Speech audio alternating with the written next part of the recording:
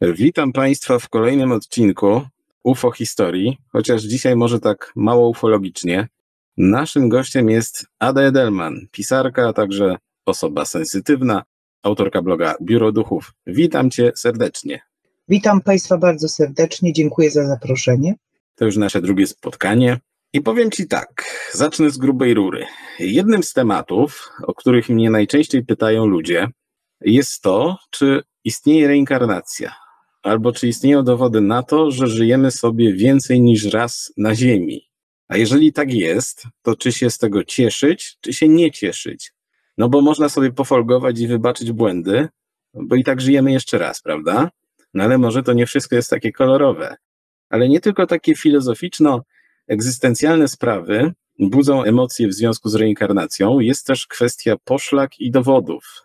Te wszystkie historie, jak opowieści o dzieciach z pamięcią poprzednich wcieleń, czy nawet y, dzieci posiadających znamiona reinkarnacji, przenoszą nam dyskusję na zupełnie nowy poziom. Ale są też sprawy, o których się mówi rzadziej i my w naszych rozmowach z Adą Edelman nie boimy się trudnych pytań o tematy związane, powiedzmy, z życiem po życiu. Dodam tylko, że w jednej z audycji na żywo jakiś czas temu zrobiłem takie małe wprowadzenie do koncepcji reinkarnacji i wędrówki dusz. Powiedziałem, czym one się różnią.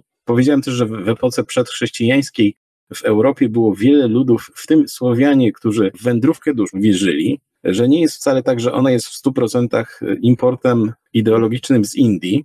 Natomiast powiedz mi coś takiego. Ty masz za sobą, jak wiemy z naszych wcześniejszych spotkań w Radiu Paranormalium na przykład, czy z naszego poprzedniego odcinka, doświadczenia związane z NDE. Doświadczenia związane z przebywaniem na granicy śmierci. I miałaś wgląd do tej rzeczywistości niejawnej. Opowiadaliśmy w naszym pierwszym spotkaniu o naturze tak zwanego tunelu zaświaty. I to te doświadczenia stały się dla ciebie taką podstawą, punktem wyjścia do stworzenia biura duchów, działalności pisarskiej, doradczej i tak dalej. Ale na samym początku powiedz, jak ty definiujesz reinkarnację z perspektywy właśnie swoich doświadczeń, nie tylko osobistych? Bo przecież albo się udajemy w zaświaty i tam po śmierci sobie mieszkamy razem z naszymi bliskimi, albo wracamy w tym, w tym kole reinkarnacyjnym. Czy to nie jest przypadkiem tak, i, i na tym zakończyliśmy naszą ostatnią audycję, że my nie do końca rozumiemy mechanizmy tego, co się z nami po śmierci dzieje? No cóż, wiele y, dla mnie mówiącym zjawiskiem, doświadczeniem było spotkanie właśnie w tym, w tym świecie po prawej stronie, jak ja go nazywam, było spotkanie mojej babci. Ona, zawsze to podkreślam, że przez, w pierwszej chwili ja jej nie rozpoznałam, ponieważ nie znałam jej tak młodej, ale kiedy zorientowałam się, że to jest ona, podeszła do mnie i powiedziała: Twój czas tutaj jeszcze nie nadszedł. Co ty tutaj robisz? To nie jest twój czas. I później już po moim powrocie do ciała, więcej półtorej roku później, miałam bardzo specyficzny sen, którym śniła mi się moja babcia, właśnie taka, jaką widziałam ją po tamtej stronie, i powiedziała mi: Przyszłam się z tobą pożegnać, ponieważ mój czas tutaj się skończył. I ja się przez te półtorej roku, ja już troszeczkę zdążyłam poczytać, yy, wiesz, interesowałam się bardzo, powiedziałabym, intensywnie różnymi religiami, w tym religiami Dalekiego Wschodu, i znałam już termin reinkarnacji. I zapytałam, czy ty idziesz do nowego życia? Czy ty będziesz żyła na ziemi gdzie indziej? Tak. Czy my się spotkamy? Teraz nie. Na koniec powiedziała mi, że bardzo mnie kocha i że jest to nasze ostatnie spotkanie. I rzeczywiście nigdy przez te wszystkie lata Nigdy później już nie, nie miałam takiego snu, w którym bym nie odwiedziła. Jedno z drugim się nie wyklucza, że mogą istnieć światy, które nazwałabym światami przejściowymi. Mogą istnieć miejsca, trochę jak w tym filmie Chico Xaviera Nasz dom. Miejsca, do których dusza przybywa, do których ona dąży po opuszczeniu ciała, i tam jest w stanie jak najbardziej spotkać swoich bliskich, ponieważ oni tam jeszcze są. Doświadczenia regresji hipnotycznej e, pokazują, że czasami między jednym a drugim wcieleniem mijało nawet setki lat, oczywiście lat ziemskich. Nie mówiąc już o tym, że przekonanie, iż wszędzie czas płynie jednakowo, jest również nieco błędne albo też wprowadzające zamęt w naszym rozumieniu bycia tam, bycia tu i w wędrówce dusz. I ja to tak po prostu pojmuję, że przez pewien czas przebywamy w świecie, w którym dokonujemy e, swoistej oceny swojego życia, zastanawiamy się, co chcielibyśmy zmienić, poprawić, doświadczyć i wracamy. Wracamy do, do kolejnego ciała, które pozwala nam doświadczać rzeczywistości, jaką znamy w tym wymiarze. Więc tak. mm-hmm. możemy, może być i jedno, i drugie. Powiem Ci, że to jest zastanawiające, bo kiedy my sobie staramy się szeregować w głowie, jakoś e, połączyć, nie, nie wiem, czy to są dowody zdaniem nauki, połączyć poszlaki wypływające z badań nad NDS, tymi nad reinkarnacją, to nam się ukazują dwie drogi. Ale nie o nich dzisiaj mówimy, bo musielibyśmy temu poświęcić osobny odcinek. My się skupiamy dzisiaj na reinkarnacji wędrówce dusz. Y, powiedziałem Wam, w czym tkwi różnica. My chyba się bardziej dzisiaj będziemy odnosić do wędrówki dusz. Chociaż te terminy są stosowane zamiennie jako synonimy, to jednak pewna różnica jest. Odsyłam Was do tego streama, lighta, w którym o tym mówiłem. Ludzie wierzą w różne formy zaświatów. No to taki komunał będzie, ale od zawsze. Powiedzmy, że od zawsze. Ale dopiero od niedawna w, w Europie, nawet wśród ezoteryków, y, pojawiają się takie głosy, a może z tymi zaświatami to jest trochę inaczej. Może one są bardziej rozbudowane niż y, niebo jedno. Może tych nieb jest więcej. Może tych rzeczywistości jest więcej. Może to, co mówi nam śmierć kliniczna i to, co mówi nam reinkarnacja, pokazuje nam dwie drogi z kilku różnych dróg, związanych z tym, co się z nami po śmierci dzieje, i że ten proces przejścia nie jest taki wcale prosty, tylko to coś bardzo skomplikowanego, szczególnie skomplikowanego do opisania z naszego ziemskiego punktu widzenia. W tym streamie o reinkarnacji wspomniałem o badaniach nad wspomnieniami z poprzednich wcieleń u dzieci. Niektóre z tych dzieci, kiedy się nauczą mówić, opowiadają o życiu innych, często sobie obcych ludzi. I te wspomnienia dzieci są tym żywsze, im drastyczniejsza w poprzedniej inkarnacji była ich śmierć. To brzmi dość paskudnie, ale tak jest. Potem te wspomnienia zanikają, chociaż w różnym stopniu, i to zjawisko występuje u dzieci wychowanych w różnych kulturach, także w tych zachodnich, gdzie wiara w reinkarnację powszechna nie jest.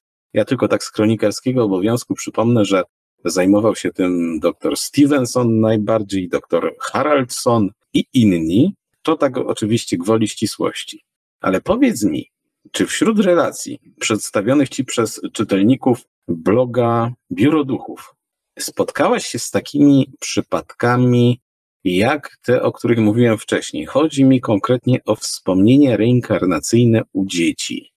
Czy uważasz, że, że to zjawisko jest dowodem na istnienie wędrówki dusz? Czy raczej w grę wchodzi jakiś inny mechanizm? Bo o tym też mówiłem we wcześniejszych audycjach. Na przykład, że po prostu świadomość tego dziecka podłącza się w jakiś sposób do zbioru informacji, oczywiście takiego, którego też nauka nie zna, o innej osobie. I stąd te informacje pochodzą. Czy Twoim zdaniem w Polsce zjawisko dzieci reinkarnacji jest tak powszechne, jak chociażby, no nie wiem, w Stanach Zjednoczonych? Ja powiem tak.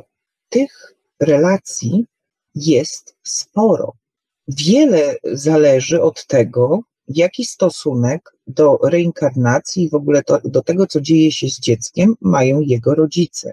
Ponieważ jeśli trafiają się rodzice, którzy są świadomi albo przynajmniej mają otwarty umysł, to kiedy widzą, że ich dziecko zachowuje się w taki, a nie inny sposób, to delikatnie i z poczuciem troski o to dziecko starają się jakoś rozładować napięcia, które powodują te wspomnienia u ich potomka. I te sytuacje wyglądają bardzo różnie. Czy mogą to być podpięcia do innych osobowości? Ja tutaj bym była wobec tej teorii sceptyczna, dlatego że myślę, iż nasza świadomość jest swego rodzaju zamkniętym, y, no użyję tego sformułowania, plikiem informacyjnym. Nie służyłoby to niczemu, gdybyśmy mogli po prostu przeskakiwać w pola informacyjne innych osób, dlatego że jesteśmy dziećmi i dlatego, że pewne mechanizmy jakby obronne nie zostały jeszcze u nas uruchomione. Dla mnie o wiele sensowniejszą wersją jest ta, że po prostu dziecko ma dostęp do swoich, że tak powiem, ostatnich wspomnień. No bo jeżeli mówimy tu o dramatycznych śmierciach, to są to ostatnie wspomnienia z poprzedniego życia. Dlaczego to są rzeczy dramatyczne? Dlaczego to są rzeczy takie przykre? No zastanówmy się, co zapamiętujemy najlepiej. My nie potrafimy odtworzyć tak łatwo uczucia szczęścia, które towarzyszyło nam na przykład, kiedy pierwszy raz w życiu trzymaliśmy na rękach swoje dziecko, ale uczucie trwogi, które towarzyszyło nam, kiedy nie mogliśmy się wydostać z samochodu i obawialiśmy się, że ten samochód za chwilę wybuchnie albo zapali się, och, to pamiętamy doskonale. Po prostu te silne emocje negatywne, być może y, ze względu na mechanizm obronny, na mechanizm uczenia się, na mechanizm niepopełniania kolejny raz tego samego błędu, no po prostu w jakiś sposób silniej zapisują w nas pewne, e, pewne sytuacje i ich przebieg. Jeżeli pozwolisz, to ja bym chciała opisać jedną z ostatnich historii, które otrzymałam, bo ona jest bardzo ciekawa i to jest świeżynka z wakacji, tak? Bardzo chętnie. No więc, e, proszę Państwa, otrzymałam ją e, podczas tegorocznych wakacji, ale wydarzyła się w sierpniu ubiegłego roku. Tak się składa, że sprawa rozegrała się w Pałacu Jedlinka, w takim historycznym obiekcie niedaleko Wałbrzycha. To się wszystko wiąże z kompleksem Rize i tak dalej, i tak dalej. Pałac Jedlinka jest to miejsce, gdzie przez długi czas ulokowani byli inżynierowie, którzy budowali Rizę. Ja już tu nie będę w tę historię wchodzić głębiej, bo nie ma na to czasu. Ja akurat w sierpniu ubiegłego roku byłam w Jedlince Miałam tam okazję porozmawiać z panem kustoszem, z panem, który nas oprowadzał, także wyjaśniłam sobie sporo ciekawostek, które mnie interesowały w związku z tym miejscem. No i dostaję list od pani, która opisuje również sierpień ubiegłego roku i wycieczkę, podczas której znaleźli się w Jedlince ze swoim pięcioletnim synem. I drodzy Państwo, w Pałacu Jedlinka jest taka sala, ona niestety jeszcze nie jest w pełni odrestaurowana, ale y, spełnia to kryteria powiedzmy sali balowej, tak?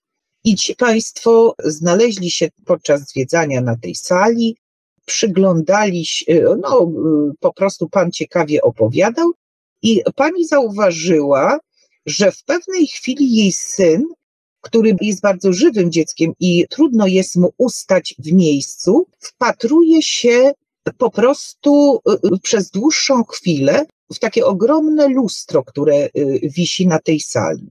Po czym chłopiec zaczyna obracać się w kierunku przeciwnym do wskazówek zegara.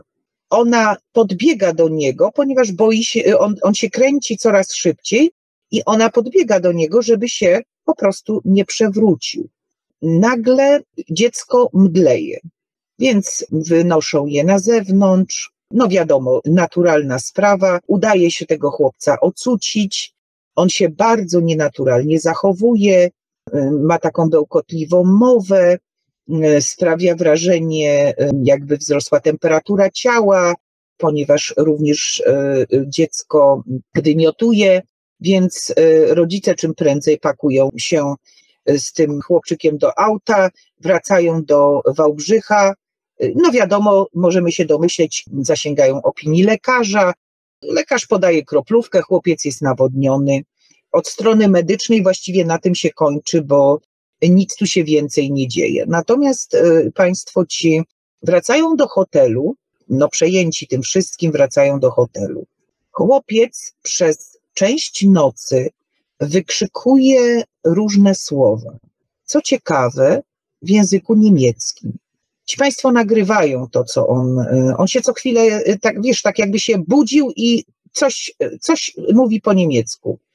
Jest momentami w, w, wygląda, jakby śnił koszmary, jakby jego, jego reakcje są takie histeryczne, takie nagłe przebudzenia, znowu zasypia.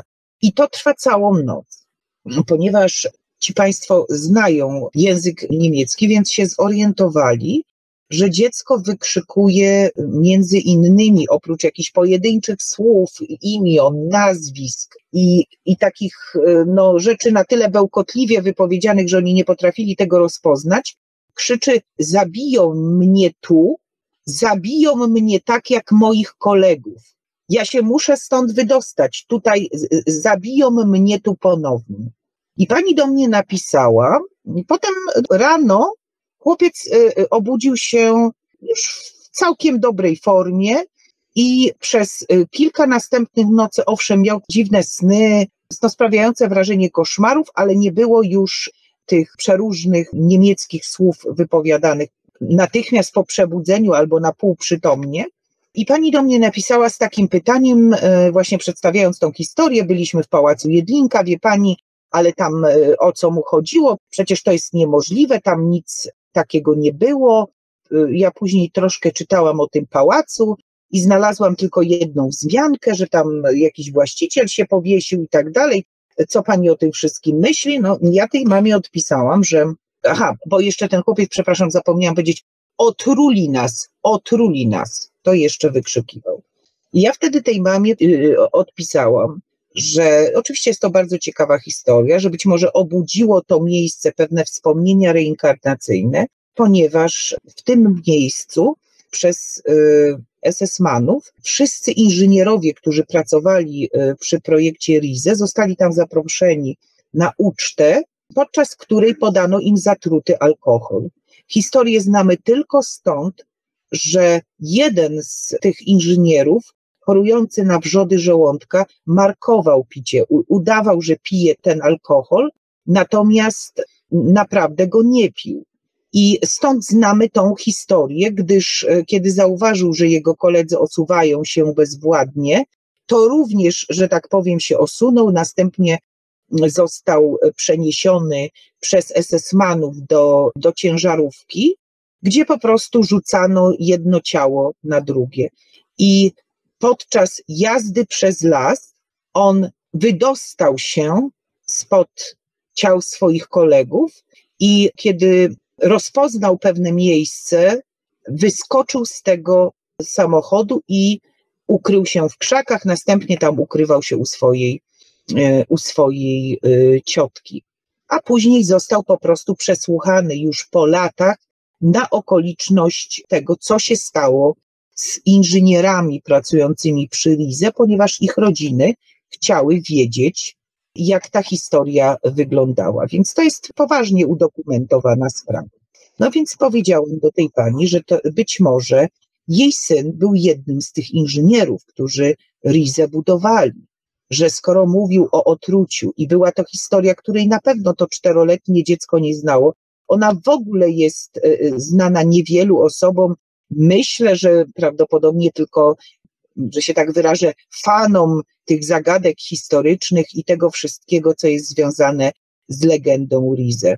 Pani, i teraz uważaj, reakcja tej pani, czy to jest nieprawda? Jak pani w ogóle może insynuować, że mój syn w poprzednim życiu był nazistą? No, oburzenie święte. Ja odparłam. A skąd pani wie, że w poprzednim życiu nie była pani matką tego nazisty? Dokładnie. Powiem ci, przepraszam, że przerywam, ale to nie jest tak, jak większość ludzi myśli, że każdy w poprzednim wcieleniu był królewną albo faraonem egipskim.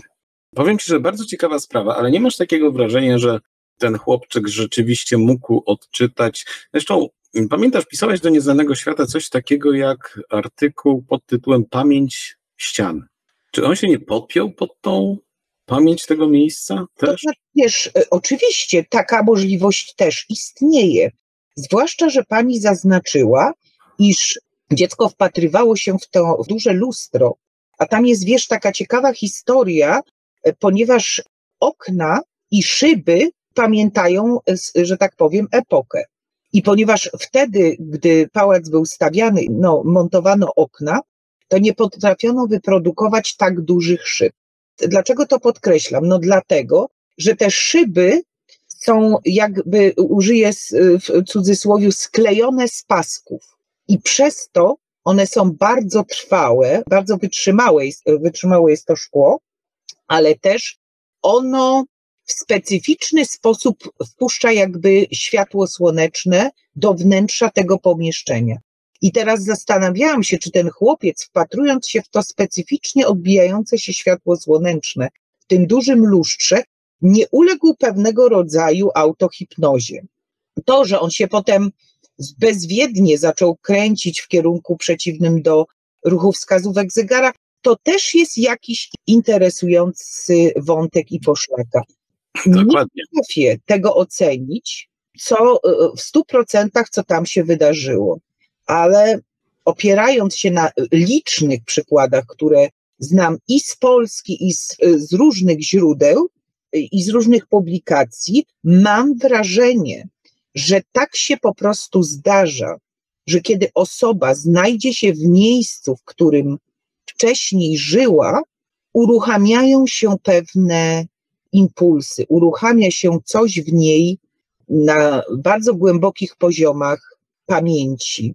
I no cóż, pozostawiam Państwa ocenie, czy uważacie, że była to autohipnoza, że chłopiec po prostu spontanicznie połączył się z tym tak zwanym polem Akaszy i zebrał akurat te informacje. Pozostaje jednak pytanie, czemu mówił podczas tego transu, w który wpadł, e, czemu mówił, nie chcę tu być, e, zabierzcie mnie stąd, oni mnie tu znowu zabiją, otrują mnie, otrują mnie. To jest takie, mówił jakby w pierwszej osobie. Tak, jakby tam był już, tak? tak Prawda? Tak. Że z tej perspektywy to bardziej pasuje do kontekstu, o którym wspominasz, że on tam przyjechał i doświadczenie tego miejsca, doświadczenie tych samych widoków pobudza taką, taką pamięć. E, oczywiście tutaj sceptycy, bo nasz program jest taki, że każdy sobie rzuca swój, swój punkt widzenia, powiedzą, że no dobrze, no może po prostu chłopak coś tam fantazjował i tak dalej, ale wiesz, dzisiaj sobie pomińmy te, te wątki. Oczywiście. I ja pamiętam, że w Twoich archiwach jest jeszcze bardzo fascynujące zdarzenie, jeżeli już tak mówimy o dzieciach reinkarnacji, Piotruś. Nie ten, który prowadzi audycję, tylko Piotruś, który był pacjentem jednego ze szpitali bądź ośrodków wychowawczych, nie pamiętam już tego, pisałeś o tym w Nieznanym Świecie. Przy, przy, czym ta historia jest trochę skomplikowana, bo to był chłopiec, który pochodził z jakiejś rodziny trochę biednej, może niedysfunkcyjnej. Ale Piotrze, ja, ja hmm? już tego ty mówisz, to jest, to jest troszeczkę jeszcze inna historia ponieważ on był zdiagnozowany jako osobowość wieloraka. Ale, ale, bo wiesz co, ja już o tej historii kiedyś mówiłem na kanale, ale miał osobowość wieloraką, natomiast oprócz osobowości miał też wiedzę, której raczej nie powinien mieć. Mogłabyś tak dosłownie w trzech słowach o nim powiedzieć, bo wierni widzowie pamiętają tą historię, natomiast y, ona trafiła do ciebie przez lekarkę chyba, tak? Która się tak, przez, y, tak, przez y, panią doktor, która, która mieszka w tej chwili w Kanadzie, znaczy mieszka od lat, ponieważ ona tam za czasów powiedzmy Solidarności wyjechała z Polski. I w ogóle są to niesamowite wątki tej, tej kobiety. W każdym razie ją bardzo interesowała osobowość mnoga.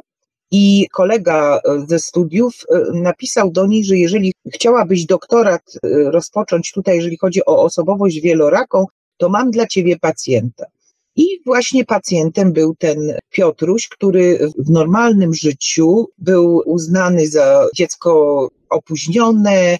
On przez lata chodził do szkoły specjalnej, do tego jeszcze y, on pochodził z rodziny y, wielodzietnej, tylko, y, proszę Państwa, żadna patologia. Po prostu prości ludzie, którzy ze wsi przyjechali do dużego miasta, mieli bodajże chyba siedmioro dzieci i zajmowali się nimi najlepiej jak potrafili i z taką wiedzą, jaką mieli. On miał jakieś problemy z biodrem, więc to było źle leczone, źle prowadzone, więc on również kulał w sposób widoczny i tak to wyglądało. W pewnym momencie on e, zaczął e, w domu e, mówić w różnych językach, zaczął się przedziwnie zachowywać, stawał się momentami a to agresywny, a to bardzo, bardzo taki zupełnie wyłączony, niedostępny. No ci rodzice y, po prostu poprosili o pomoc lekarzy.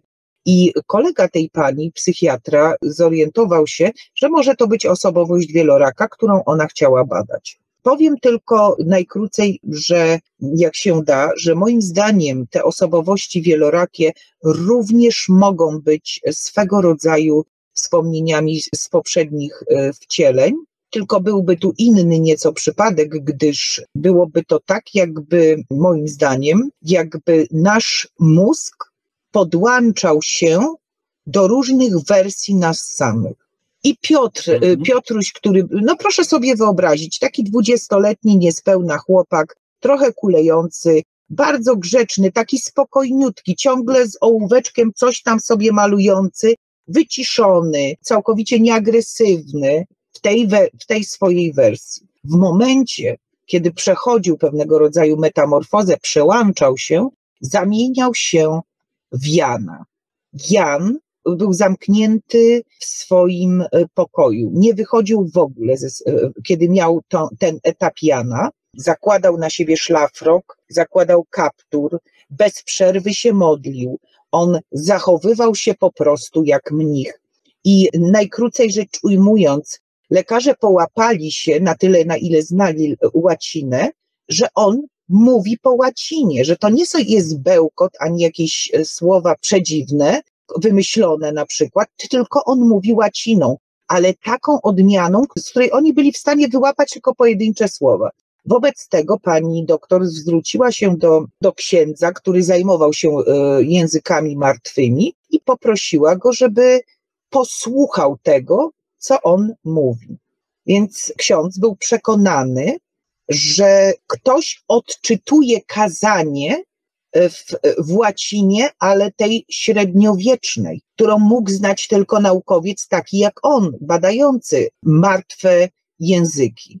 Bardzo szybko on zafascynował się tymi wystąpieniami i poprosił, czy można by było w, w tym pokoju, w którym, e, w tej, w tej nazwijmy to jego mniejszej celi, jak on, jak on uważał, że, że, że przebywa, czy można by było po prostu nagrywać momenty, w których on zaczyna wygłaszać te swoje kazania. No i tak też się stało.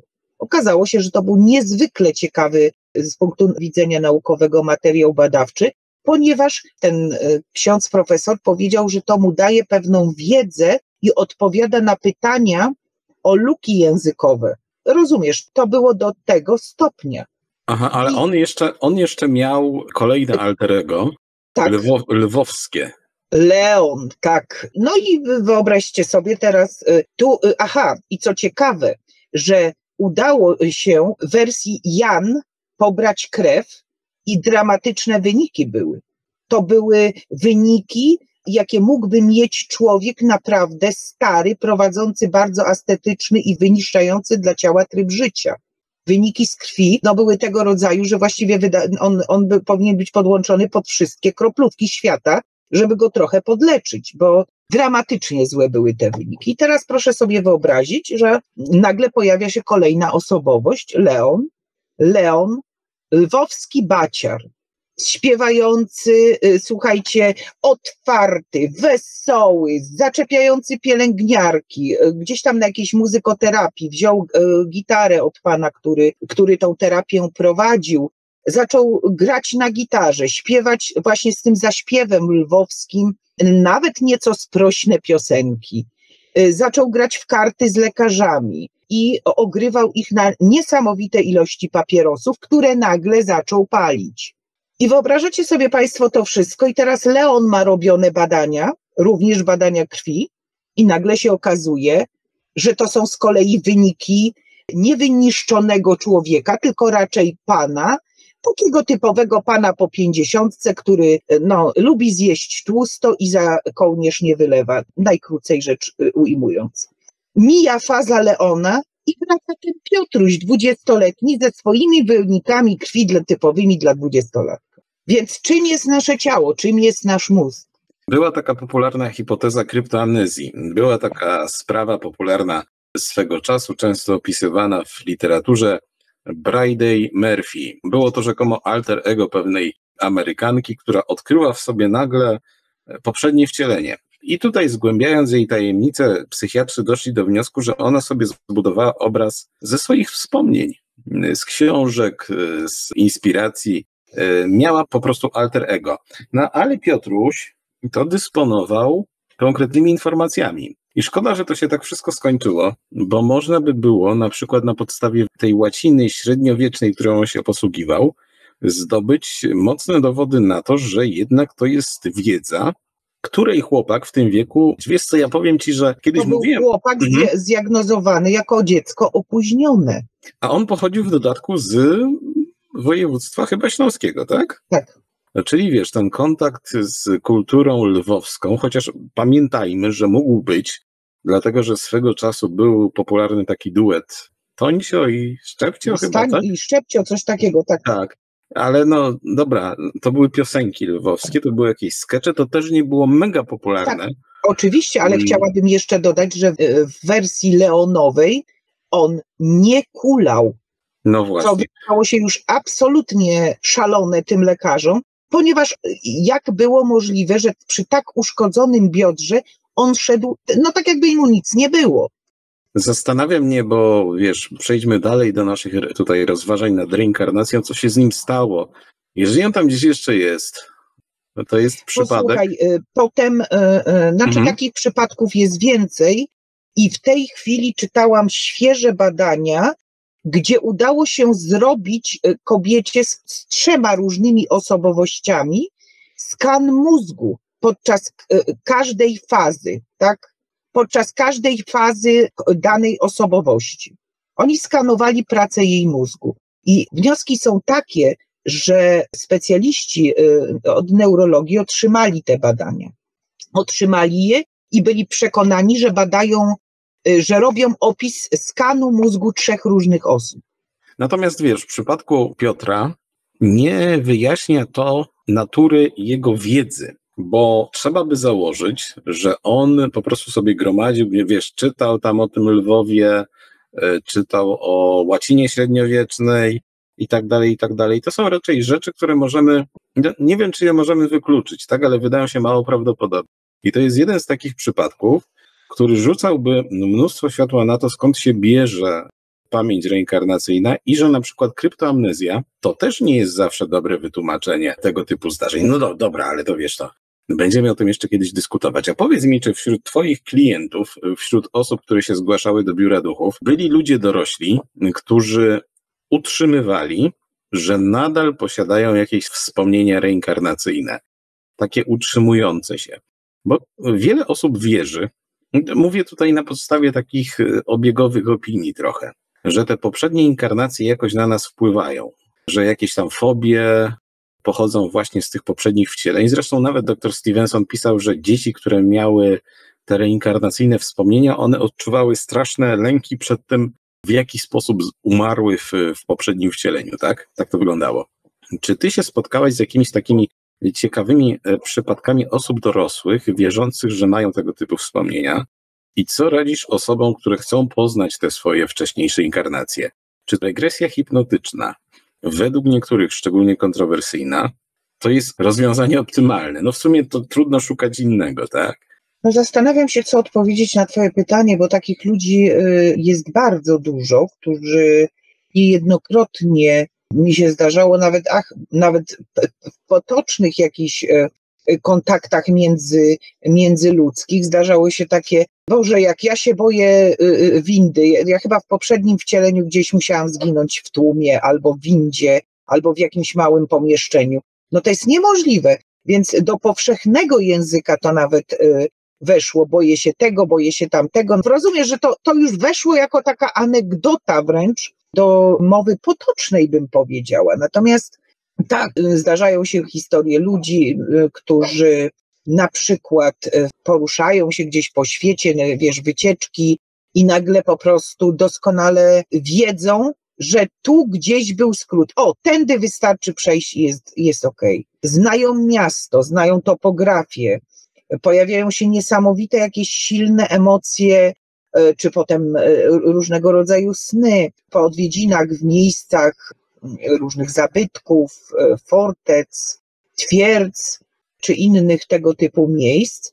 Więc ja myślę, że nawet w dorosłym człowieku mogą zostać pewne struny poruszone, jeżeli odpowiednio się w nie uderzy. Są w ludziach nie do opisania tęsknoty. Ludzie potrafią bardzo skromnie żyć i oszczędzać, byle tylko na przykład pojechać do Indii za wszelką cenę i to w konkretne miejsce, na przykład do źródeł Gangesu. I nagle znajdują się w tym miejscu i mówią: Wiem, że tu byłam, czy tu byłem najszczęśliwszy za wszelką cenę wracają do miejsc różnych plemiennych, różnych kultur. I kiedy zanurzają się jakby w tej przestrzeni, do, za którą tak tęsknili, pewne odczucia od ciała przez umysł y, i ducha zostają uleczone, uporządkowane. Ludzie, myślę, oczywiście jest to tylko moja opinia, że również członkowie grup rekonstrukcyjnych którzy z takim zapałem, z takim niebywałym oddaniem angażują się, że tak powiem, w odtwarzanie przeróżnych epok i towarzyszących im na przykład strojów lub, lub jakichś innych okoliczności charakterystycznych, myślę, że to również są takie echa przeszłości. Natomiast czy regresja hipnotyczna, działa, czy nie działa, czym jest. Ja się sama poddawałam regresji, poddawała się również moja starsza córka i y, doprawdy zapewniam Państwa, że to nie jest tak, że my widzimy siebie jako, po pierwsze, zacznijmy od tego, że ja widziałam siebie w swoich regresjach, które odkryłam, jako mężczyznę, nie jako kobietę. To po pierwsze. Po drugie, my naprawdę już odrzućmy ten mit, że każdy jest y, słodką księżniczką albo dzielnym generałem. Nie. W tych regresjach widzimy siebie jako złodziei, bandytów, jako zwykłych, prostych ludzi, którym nic się ciekawego w gruncie rzeczy nie przytrafia. Widzimy siebie na dnie drabiny społecznej, w nędzy, w brudzie, w poniżeniu. Widzimy siebie w najgorszych sytuacjach, których nigdy nie chcielibyśmy siebie zobaczyć. No to przyznaj się, co zobaczyłaś. Ja ci też powiem, co ja zobaczyłem na przykład. Nie było bardzo trudno się tam w ogóle wprowadzić, a to było dawno. Ja, ja, ja powiem pierwszy, że żeby nie było, że cię wciągam, a sam nie powiem. To ja powiem, e, nie wiem, czy o tym mówiłem. Pewnie tak. Ja byłem chłopem chińskim, chyba chińskim, i miałem takiego bawoła charakterystycznego i, i, taki kapelutek, wiesz, stożkowy. No i to w zasadzie wszystko, co widziałem. Tam rzeczywiście się musiało niewiele dziać. Poletko ryżowe, ale nie, nie, żadnych tam krajobrazów nie było. No poletko, chłop.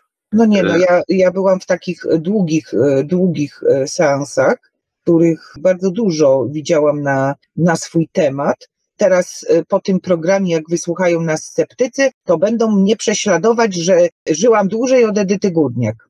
Zaraz się zacznie, zobaczysz.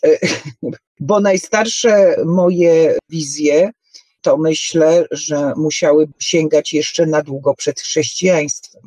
I widziałam siebie w bardzo różnych sytuacjach, i bardzo ciekawych, i nieciekawych, i takich, których gdybym w tej chwili to przeżywała, to bym się tego wstydziła. Ale najbardziej zapamiętałam tą, gdy byłam takim, no powiedzmy chyba 16-17-letnim Szkotem. Myślę, że to no, musiałyby być gdzieś IX wiek, tak bym to mniej więcej umiejscowiła. I to była bardzo, bardzo poruszająca historia, bo myślę, że po tym mam lęk wysokości, którego nie potrafię rozpracować, wiesz. I e, w tej wizji bardzo się wyrywałam do boju. Mój ojciec był takim potężnym, potężnym facetem, chyba ze dwa metry, rozumiesz? Ja już takim podrostkiem szesnastoletnim, który się wyrywa do, do bitki, a tu zostaje powierzona misja eskorty starszych ludzi, dzieci, kobiet przez, e, przez taki las wiesz, chodziło o to, żeby ich ukryć w jaskiniach, tak? W takich, w takim miejscu, żeby, żeby tam im nic nie groziło. No i tu jest mi powierzona misja eskorty. Jestem wściekły, jestem po prostu zawiedziony, wręcz poniżony, jak to mój ojciec tutaj innych wziął, a mnie nie. No ale w każdym razie prowadzę tą, e, jeszcze tam dwie inne osoby obstawiają jakby tyły, ja jestem z przodu, prowadzę tych za mną, ci wszyscy ludzie, którzy starzy czy z małymi dziećmi chcą się schronić. I rozgrywa się, jest takie przejście, wiesz, takie mm, mm, jakby powiedzmy wzdłuż, wzdłuż urwiska. Las, urwisko, i potem już z powrotem można przejść e, las i te jaskinie, tak? Z tego lasu wychodzi, wychodzi niedźwiedź. I w tym momencie, wiesz, ta buta młodzieńcza, ja tu go zaraz, wiesz, załatwię. No nagle chce się niesamowicie wykazać swoim bohaterstwem. To zwierzę jest rozdrażnione, no bo mnóstwo ludzi, więc mnóstwo zapachów. No i w każdym razie dochodzi do walki. On mnie dwukrotnie rani swoimi potężnymi pazurami, ja jego też. No ale w pewnym momencie zdaję sobie sprawę z tego, że za mną jest ta przepaść, że bardzo krwawie, tak, bo jedna z tych ran bardzo intensywnie krwawiła i spoglądam w tą przepaść i widzę i zdaję sobie sprawę, że będę tam spadać, że w ten sposób umrę. I przy ostatniej konfrontacji z tym zwierzęciem po prostu tak manewruję ciałem, a tym samym trochę też i tym zwierzęciem, żebyśmy obydwaj, czy też obydwoje spadli w tą przepaść. E, powiem Ci, że na przykład ja miałem tak, że bardzo mi było trudno się wprowadzić w, w stan hipnotyczny. Natomiast co mogę powiedzieć, to że potem miałem e, serię bardzo sugestywnych snów. I w jednym z tych snów widziałem taką scenę, kiedy hordy mongolskie nacierają na, na jakieś miasto chińskie. Ja wiedziałem, że to jest Pekin, to jest ciekawe, wiesz, bez względu na to, skąd to pochodzi, jest to bardzo interesujące, skąd my w sobie te obrazy nosimy. No bo raczej wydaje się mało prawdopodobne, żebyś kiedykolwiek w życiu myślała o tym, żeby się siłować z niedźwiedziem, tak? No wiesz, jakoś e, o tym, żeby być takim powiedzmy w XVIII-wiecznym e, e, Anglii takim ulicznym złodziejaszkiem, to też bym nie chciała, co? No którego, którego spotkał dość nieciekawy los. A słuchaj, y, bo powracając do tego wątku snów, to czy w snach, y, o których napisałeś książkę, może się też pojawić wątek przebitek z poprzednich inkarnacji? No, ja obstawiam, że tak, bo pojawiają się czasem sny, w których to otrzymujemy informacje, których, no powiedzmy, no trudno by nam było pozyskać w inny sposób niż w taki, że myśmy tam po prostu byli. W snach czasami myślę, że usiłujemy wybijające się gdzieś z naszej podświadomości, z naszej pamięci traumy, które zostały zduszone w zarodku w naszym dzieciństwie, kiedy to zaczęliśmy mówić, że na przykład mieliśmy inny dom, żyliśmy gdzie indziej i było tak, a nie inaczej w naszej, w naszej historii wtedy y, bardzo często rodzice, a, a to nie chcą być matką nazisty, a to po prostu są przerażeni. Tak jak jedna pani y, ze Szwecji napisała do mnie, ja jestem przerażona, ja myślę, że u córki jest ta pamięć poprzednich wcieleń, ale wie pani, ja się boję, że mi tutaj dziecko w tej Szwecji zabiorą, bo w Szwecji, ponieważ tam jest większość ateistów i oni do, tak do tego podchodzą, to oni jeszcze pomyślą, że to dziecko jest, nie wiem, i dlatego daje wyraz swoim y, y, tragicznym przeżyciom poprzez dramatyczne rysunki, na których po prostu widać, że dziecko musiało ani chybi pewnie zginąć gdzieś podczas bombardowania. No więc to czasami jest strach tego rodzaju, że zostanie to wszystko źle zrozumiane. W kulturze się tego nie, nie dopuszcza. Niemniej nawiedzające nas cyklicznie, takie powiedziałabym obsesyjne sny na pewien temat, no dają do myślenia. Dokładnie, ale o nich sobie jeszcze kiedyś opowiemy. W ogóle z tymi wspomnieniami z poprzednich żyć jest różnie. Jest różnie, dlatego że one zanikają, tak, w jakiś sposób zawsze. Pojawia się pytanie, czy one kształtują potem charaktery, czy one wpływają na osobowość. No ale przejdźmy do kolejnego tematu. Słuchaj, jedną z zagadek jest to, że w naszym kraju według różnych sondaży prowadzonych na przestrzeni lat od 25 do 33% populacji wierzy w reinkarnację. Oni sobie jakoś godzą tą reinkarnację z katolicyzmem albo z innymi osobistymi przekonaniami. Natomiast to, o czym wspomniałaś, mówienie o doświadczeniach z poprzednich wcieleń trochę uchodzi za tabu. Czy Twoim zdaniem, albo inaczej, czy z Twoich zbiorów wynika coś takiego, że ludzie chętnie szukają odpowiedzi? Chętnie szukają odpowiedzi, z drugiej strony sama już powiedziałaś, że czasami jest tak, że nie chcą. Nie chcą się z tym skonfrontować w żaden sposób. I mamy taki paradoks, bo z jednej strony mamy jedną trzecią populacji, która sobie dopuszcza reinkarnację, chociaż ona stoi w opozycji do dogmatów chrześcijańskich, a z drugiej strony jest takie zainteresowanie tematem. To, to mnie strasznie dziwi. Była taka audycja, w której mówiliśmy z Arturem Wójtowiczem na temat tego, jak chrześcijanie sobie poradzą z trudnymi tematami. I ta reinkarnacja jest jednym z trudnych tematów. Ja kiedyś powiedziałem coś takiego, że spodziewam się, powiem Ci, w ciągu najbliższych lat, że temat dzieci reinkarnacji w Polsce stanie się tak rozpowszechniony, tak znany, że zaczną te relacje napływać. To też jest bardzo, mm, bardzo znamienne na tle tego, co się z Kościołem dzieje. Następuje takie zeświadczenie w Polsce, nie możemy tego nie akcentować. Ale mimo wszystko powiem Ci, że e, nawet jeżeli to zeświadczenie następuje, to ludzie niechętnie będą o tym mówić. Niechętnie będą o tym mówić, że ich dziecko było kimś innym, ponieważ to jest trudne do zaakceptowania, prawda? no de facto musimy się pogodzić z taką sytuacją, że nasz syn albo córka to nie jest tabula rasa. To jest ktoś, kto może formalnie być od nas starszy, kto przynajmniej się tak zachowuje. No i to rodzi straszny dysonans poznawczy. Nie wiem, czy, czy my w Europie jesteśmy gotowi jednak w 100% na konfrontację z tym zjawiskiem. Nie wiem, jak ci się wydaje. Czy ludzie chętnie mówią o tych swoich doświadczeniach Mm, z reinkarnacją. I skąd Twoim zdaniem tak duży odsetek w Polsce ludzi, którzy dopuszczają jej istnienie? Bo powiedziałem na samym początku, że wiara w reinkarnację może wynikać z tego, że ona daje jakąś nadzieję na to, że kiedyś jednak będzie lepiej, jeżeli nie teraz, to w, w, przyszłym życiu.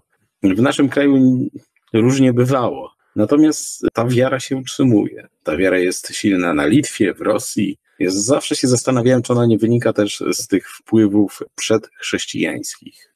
Czy Twoim zdaniem jesteśmy na tym poziomie jako społeczeństwo, by mówić o tego typu doznaniach, czy to jednak jest trochę wstydliwe? No bo wiesz, były takie przypadki, wspomniałaś o tej pani, która mówiła, że nie chce mieć syna nazisty, ale były takie przypadki, kiedy no, nie oszukujmy się, e, rzeczy, o których dzieci reinkarnacji mówiły, powodowały problemy nie tylko wychowawcze, ale i szkolne, w takim stopniu, że nie wiadomo było, co z tym począć.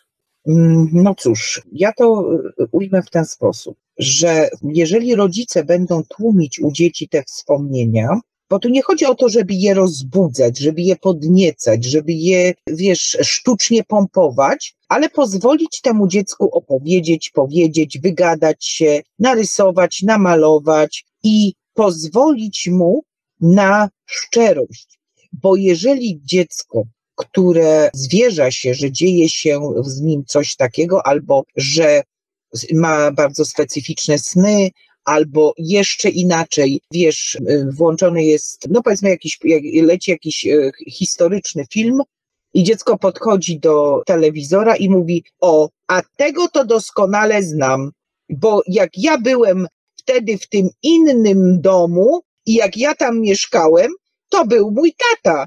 No wiesz, trudno sobie wyobrazić, że dziecko po prostu od tak, ni z gruszki, ni z pietruszki wybiera sobie na swojego tatę jakąś postać historyczną i to niekoniecznie taką, o której dzisiaj dobrze mówimy jako, jako dorośli. Jeśli odtrącimy dziecko z tymi wspomnieniami, ono sobie to zakoduje i możemy być pewni, że do końca życia nigdy nie będzie z nami w stu procentach szczere nie będzie otwarte na rozmowę z nami i w pewnym momencie zlekceważy nas tak, jak my zlekceważyliśmy jego problemy, jego wspomnienia. To tak trochę jako rodzic, trochę jako osoba tym tematem bardzo zainteresowana.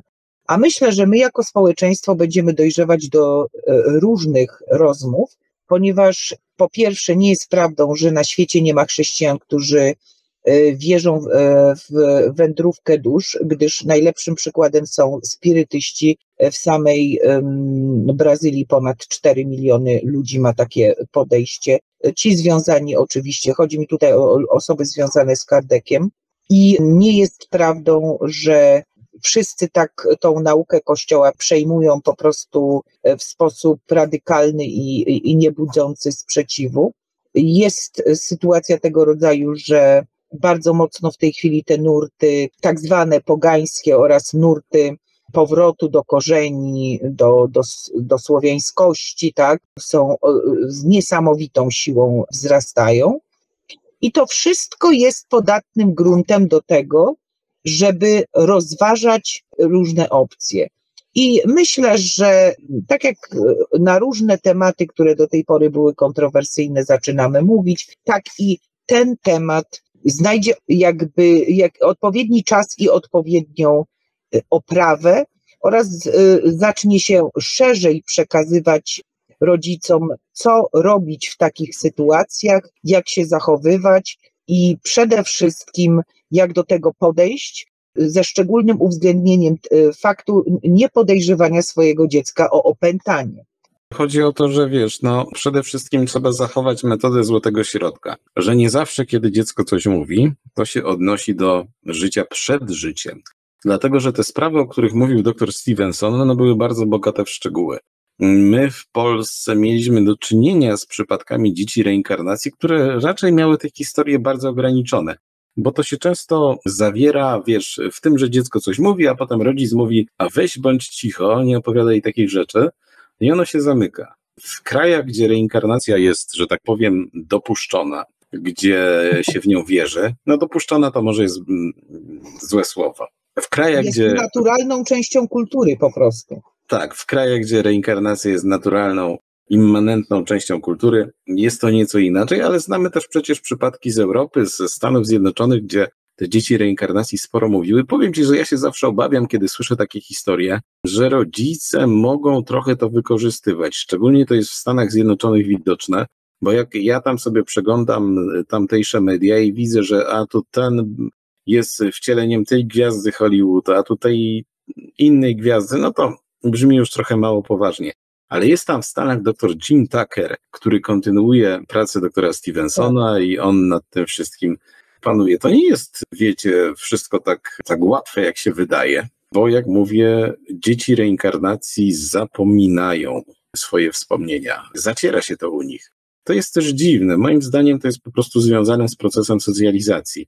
Wiesz, idziesz do szkoły, nawet wcześniej idziesz do przedszkola i tam już musisz być kimś. I tam już nie ma miejsca na, na twoje, oni powiedzą fantazje, tak? No ale dobra, przejdźmy do następnego tematu, w sumie już kończymy. Słuchaj, jak definiujesz termin stara dusza?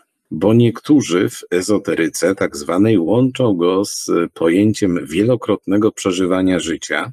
Co też sądzisz na temat tak zwanych dzieci? Tu jest różnie, bo się nazywa indygo, i kryształowymi, i tam innymi. Że niby wiesz, Ziemia jest z jednej strony domem, ale też no, jakby nie patrzeć, więzieniem dla dusz, które tutaj nieustannie po coś wracają. E, niby coraz więcej tych dusz kryształowych i starych, a na Ziemi coraz gorzej. No cóż, jakby to ująć? No skoro dusza stara, to znaczy, że nie młoda. Już mówiąc tak z, z humorem. Wiadomo jest, że mamy określoną ilość doświadczeń, i one jakby pchają nas w konkretnym kierunku.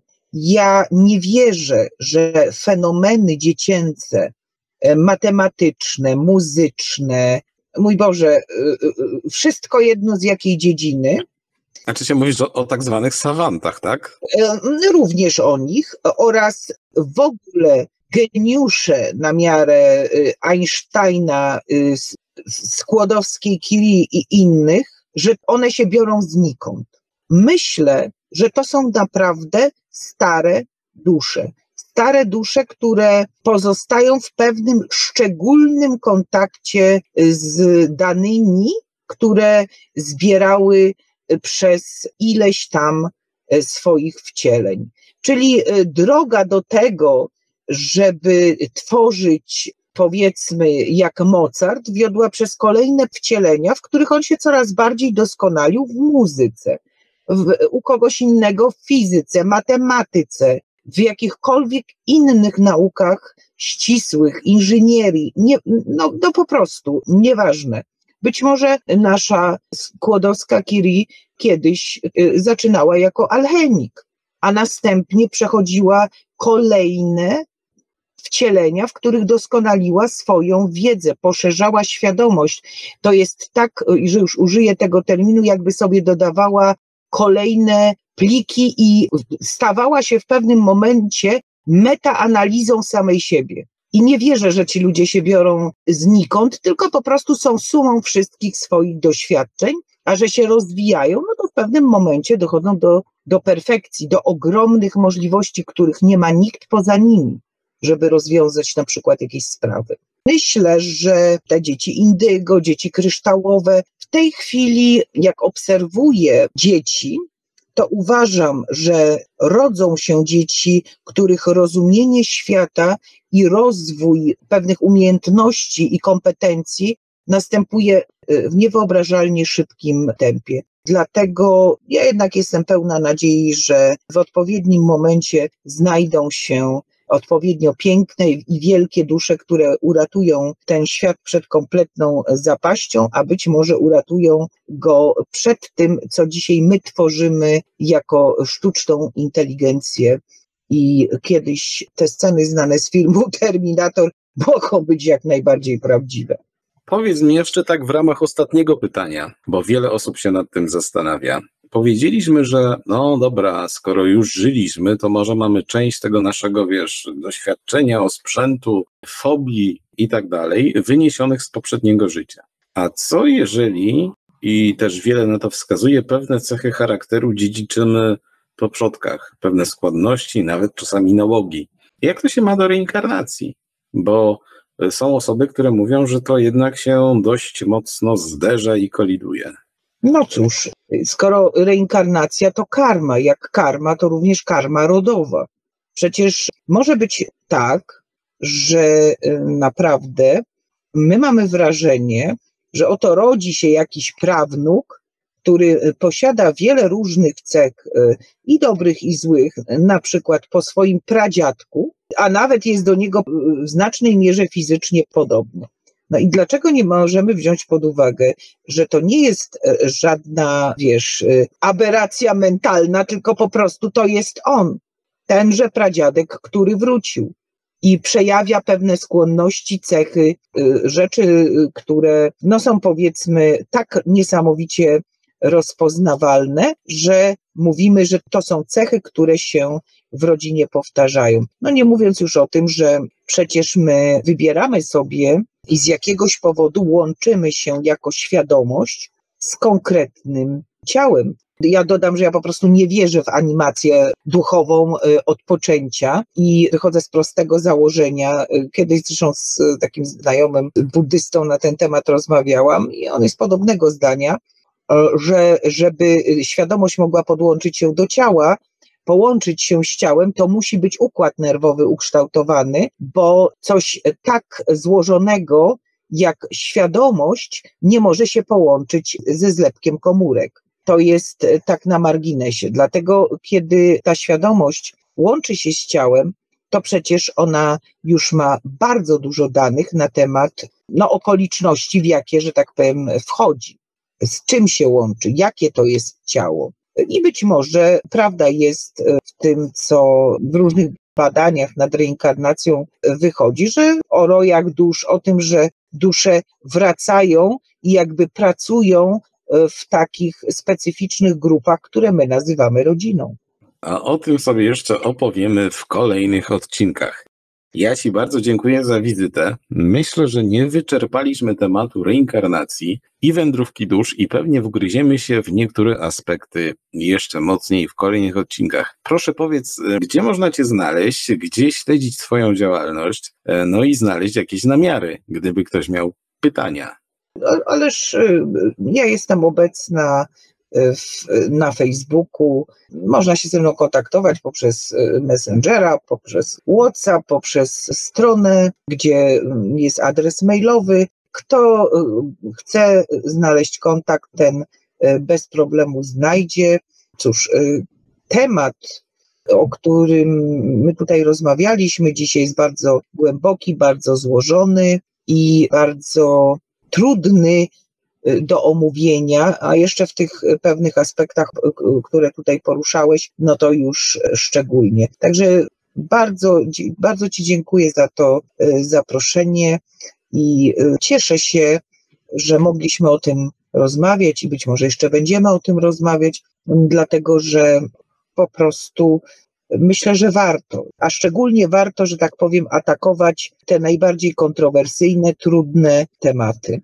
Tak, bo wiesz co, jeżeli chodzi o reinkarnację, to jest tak, ona jest tematem szczególnie dotkliwym, dlatego że kiedy mówimy o śmierci i tak dalej, tam się życie kończy, to możemy sobie dywagować. W przypadku dzieci reinkarnacji życie się zaczyna. I kiedy chcemy ich obarczać jakimś ciężarem, to musimy pamiętać o kilku rzeczach. One mają rodziców.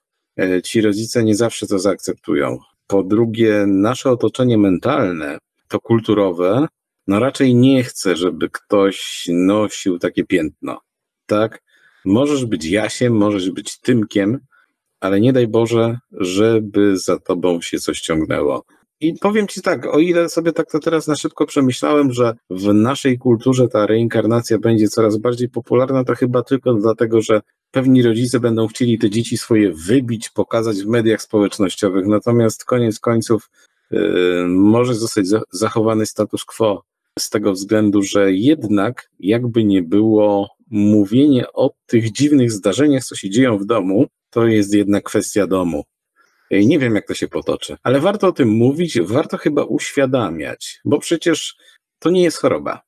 To chyba najlepsze podsumowanie naszej, naszej rozmowy. No dokładnie, tu przede wszystkim trzeba pamiętać, że takie dziecko, jeżeli rodzic nieprawidłowo, zbyt, y, powiedziałabym, zbyt nerwowo zareaguje, to takie dziecko trafia w ręce i w całą, y, że tak powiem, machinę psychiatryczno-psychologiczną. A jeżeli zareaguje z kolei y, religijnie, to może trafić do egzorcysty.